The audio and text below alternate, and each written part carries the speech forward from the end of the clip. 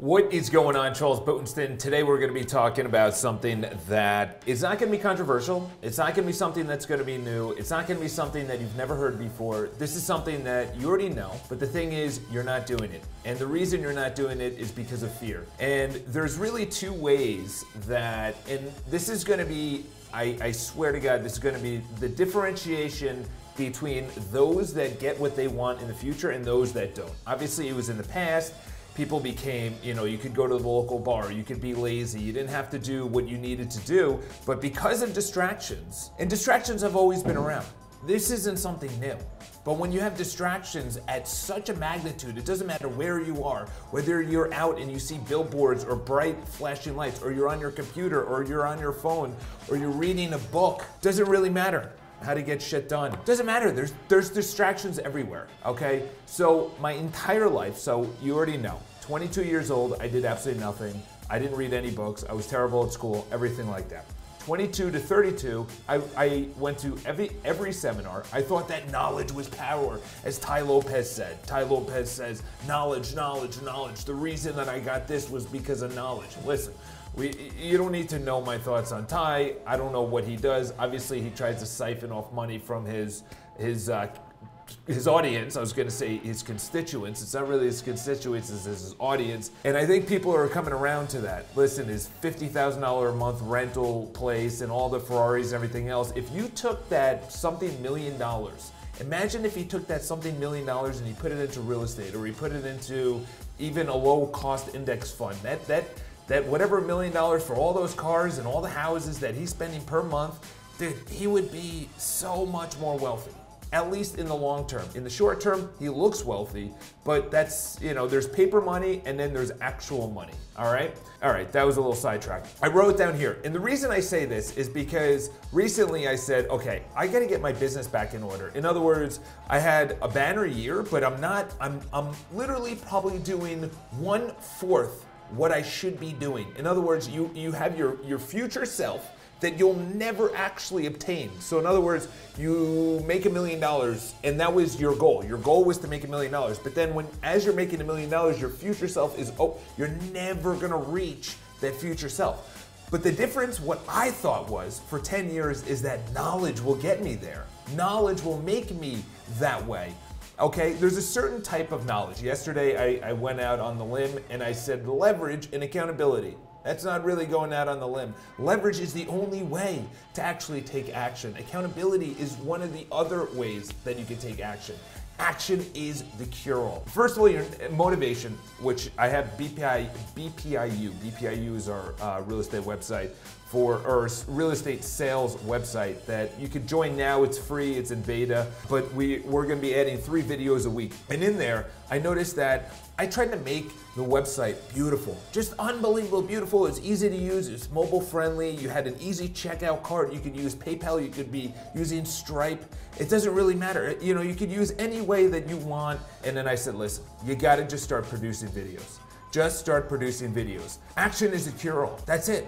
That's it. Yesterday I said, okay, if action is the cure all, which I didn't say yesterday, you either need leverage or you need accountability. Leverage is saying your doctor comes up to you and says, hey, listen, you have cancer. Or your, your banker comes up to you and say, you are broke. Or the IRS says, you owe us money. Or you just, you just went through a divorce. Or your kids say, dad, where are you? That's leverage. And then there's, so that's actual leverage. And then there's future leverage. Future leverage is me, myself, I'm not going through that, but I know people that have.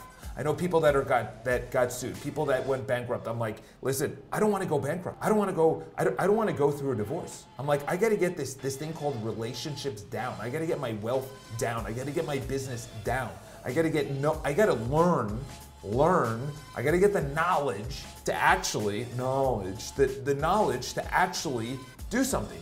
the problem is, I did that for 10 years and I was still in the exact same point. I was incrementally building the base for me to actually build the foundation of personal development in all areas of my life, okay? But the thing is, and I wrote this here, most read, then teach. But there's very few that actually read, then do. Look how many people are out there. They're selling their e-course, their, their books. They're they're the interviewer instead of the interviewee. All the people that are they're, they're starting shows they're not really putting out original content. They're they're actually they're curating all this this content. It's hard to put out original content whether that's a writer or musician or you're an athlete or you're a youtuber. It doesn't really matter or instagram or photography. It doesn't really matter. You, putting out original content is hard but the only way to actually put out original content and get better at, at original content I'm, and i'm about to talk about a, a an incredible way that they actually found out the best way to actually do better. The only way to put out original content, as Steven Pressfield in The War of Art, Going Pro, Do the Work, all great books, and I just bought another one. But he said the only way is between 9 and 10, as Keller said, is that you have your one thing. That's all you do. That one thing. 9 to 10, don't talk to me. That's my that's my deep work, as Cal Newport says. And they actually had this, this experiment. They said they had three people, three case studies. They had groups of people, and they said, by the end of the semester, I want you to make the perfect pottery sculpture. Okay, they had a group that just they constructed one and they they maneuvered it and everything else, and then they put it out. In other words, they they they studied how to make the best one, and then they made one. Then they had a group that that continuously made, made, made, made, made, and then put one out on the end. And then you had a, another group that that made, and it was like that, you know, kind of just whatever group that nobody really talks about, which is forgot the name of it. You have the, the control. So it was the control group. Whatever you wanted to do, you don't listen to us, you just do whatever. Ironically enough, the people that kept on doing and failing and failing and making shitty pot after shitty pot after shitty pot made the best pot at the end. As opposed to the people that actually learned how to make a pot for the entire semester and then at the end of the semester they actually made a pot. In other words, they're making pottery, but the problem is the people that made pottery once but learned all, all semester how to do it, they had the worst one. Because all they're doing was actually learning. I wish I knew that. I wish I had the balls to actually take the amount of action I needed to take from the beginning. All I did was, I'm not gonna start until I learn. I'm not gonna do until I learn. And then what I noticed is that I actually never started. I actually never did. I never went to the gym. I never approached that pretty girl. I never made the sales calls. I never saved the money. So then I said, okay, we need a better way right now. We, we need to actually do it. And then and I said, tomorrow. I'm gonna start tomorrow. I'm gonna do it tomorrow. Tomorrow never comes. And as, as Tony Robbins says, someday I'll, someday I'll, someday I'll approach that pretty girl. Someday I'll start making sales calls. Someday I'll be rich. Oh, really? What are you doing up until then? Are you that that that one group that failed, failed, failed, failed, failed, failed, and then at this at the end of the semester had a an incredible pottery because all they were doing was failing, failing, learning ways not to do it by doing it instead of learning what not to do. There is a balance there is a balance where you learn. See, this is the thing. This is the last thing I'm going to say. Is that 80%, if you have no foundation, the first foundation is go mental. In other words, learn what you say to yourself, learn what you say to yourself about other people, learn what you actually say out loud. Just learn all of the, the how you talk to yourself, psycho cybernetics, okay? That's the foundation. You don't do anything there, you just observe what's going on in your mind, okay? So in the beginning, it's 80 20. 80% you learning, 20% you're doing, okay? Now, for me, it's 80% doing, 20% learning.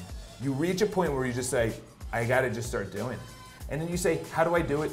Watch yesterday's video, okay? There's only two ways, accountability and leverage, okay? Accountability, you give someone money. Accountability, you have a coach. Accountability, you tell your, your girlfriend or your wife or your fiance or your boyfriend and you say, listen, if I don't go to the gym, I don't know, think of something, you know? We're, we have something, a bet with yourself. Put it out public, put it online. Say, I need to make a certain amount of sales calls. Go live on Facebook making sales calls. That's what I did earlier this year. Have an amazing day. Motivation is shit. All about doing. Experience versus knowledge. It's all about experience. It's all about doing. Action is the cure all. All right? Have an amazing day. Spread the video.